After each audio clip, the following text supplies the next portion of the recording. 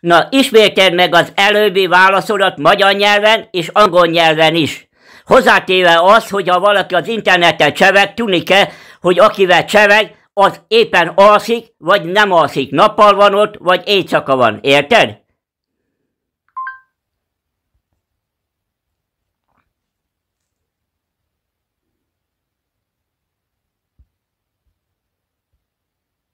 Természetesen. Itt van a válasz magyarul.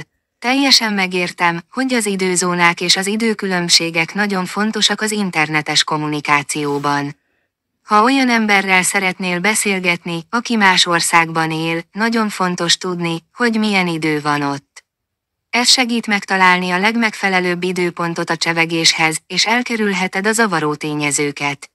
Az időzónák a világon lehetővé teszik, hogy különböző helyeken élő emberek együttműködjenek és összehangolják tevékenységeiket.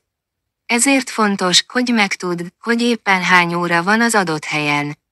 És itt van ugyanez az angol verzióban. E complete understand that time zone and time differences are very important in online communication.